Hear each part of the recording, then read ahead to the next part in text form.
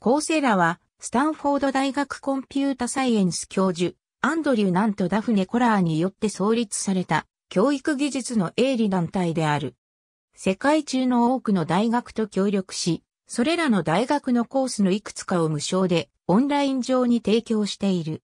2012年11月の時点で196カ国から190万241人もの生徒が一つ以上の授業に登録をした。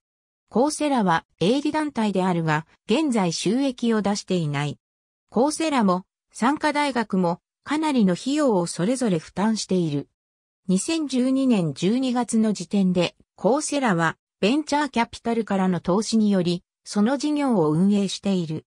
2012年4月、シリーズ A ベンチャーキャピタルのクライナー・パーキンス、コーフィールドバイヤーズのジョン・ドーアと、ニューエンタープライズ・アソシエイツのスコット・サンデルから1600万ドルの投資受けたと発表した。ジョン・ドーアは、この投資に関して価値ある教授サービスには、人々はお金を厭わないだろうと言った。あらゆる収入源は共有される。各参加大学は収入の一部と利潤の20%を受ける。コーセラと参加大学間の契約のスケジュール1では、様々な可能性が網羅的に検討されている。以下、その例を挙げるが、これらには一定額をかけることを検討している。2012年7月、認証や雇用者への情報の販売は積極的に検討された。このホームページは以下のような分野においてコースを有料もしくは無料で提供する。有料コースも大抵は無料での聴講が可能である。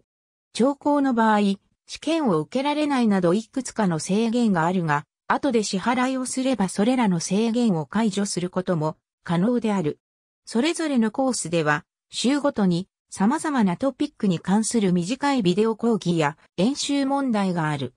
例えば人文学や社会科学など客観的な評価基準を設定することが難しい課題については、相互評価システムを用いる。2012年秋には、100以上のコースが教えられた。スイス連邦工科大学ローザンヌ校の参入により、フランス語圏でもコーセラを通じて学べるようになった。ワシントン大学は追加課題を満たす限り、コーセラの認証を公式に認める予定だ。2012年10月、アンティオーク University は、コーセラと提携し、従来の授業よりも安く、単位を提供すると発表した。さらに、11月には、 American Council on, Education とともに、コーセラの内容が普通の大学の単位と、どのように比較されるべきかを評価すると発表した。2012年2月創立当時は、スタンフォード大学、ミシガン大学、プリンストン大学、ペンシルバニア大学と提携をした。7月には12校が新たに加わり9月には17校が加わった。一部の大学は修士号のプログラムも提供しており、世界中どこからでもこれら有名大学の修士号を取得可能である。2013年2月現在では62の大学がコーセラを通じてオンラインの授業を発信している。